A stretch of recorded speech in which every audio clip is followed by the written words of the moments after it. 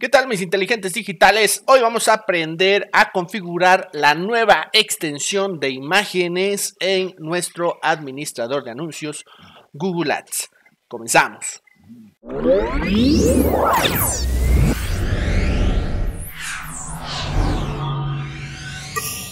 Bien, como algunos ya sabemos, eh, Google lanzó una nueva extensión de imagen, ¿sí?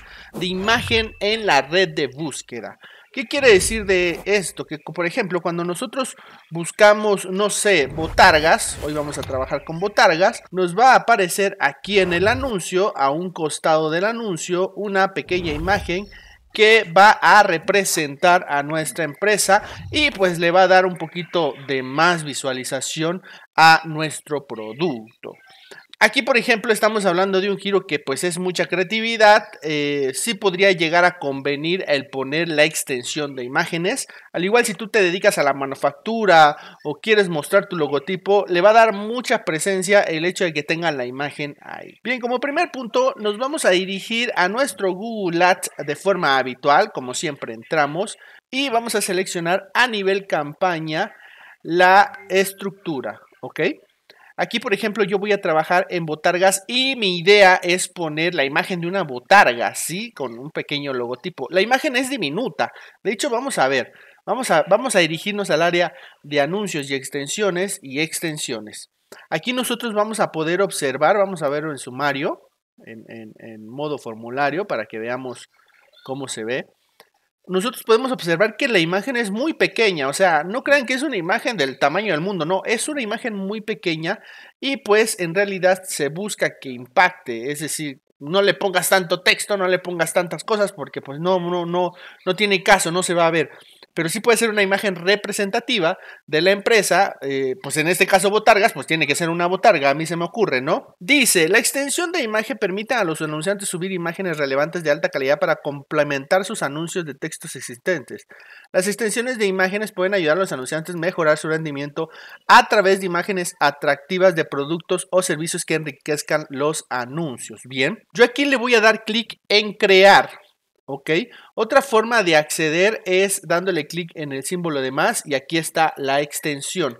Si a ti no se te ha habilitado esta opción, pues tienes que ser paciente. Eh, nosotros no, no podemos decirte pues, así lo vas a activar. No, esto se activa en, automático. No lo puedes ah, forzar ni activar tú, sino solito aparece en tu administrador de anuncio. Yo le voy a dar clic en crear y si se dan cuenta me dice extensión crear nuevo las imágenes deben cumplir con los estándares de calidad Google Ads. No se permiten superposiciones de logotipo o texto, GIF ni imágenes borrosas o mal recortadas. Es decir, tiene que ser una imagen perfecta.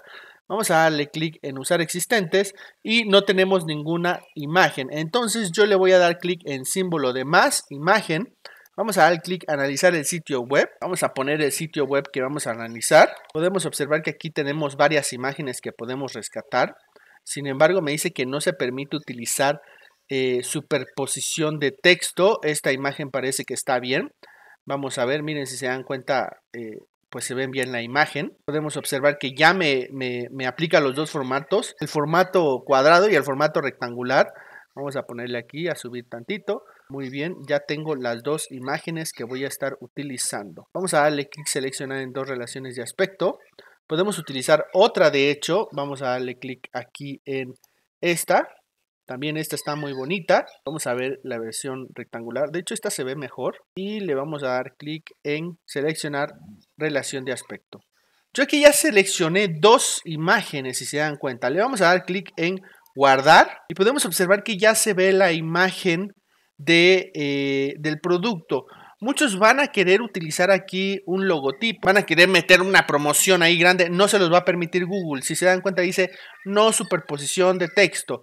Quiere decir que debe de ser una imagen como tal. Van a querer poner un GIF animado, no se permiten GIF. Entonces, es importante cumplir con estas políticas para que no te rechacen la extensión. Una vez hecho esto, nosotros le vamos a dar clic eh, agregar a y podemos observar que tenemos la opción de niveles, campañas y grupo de anuncio.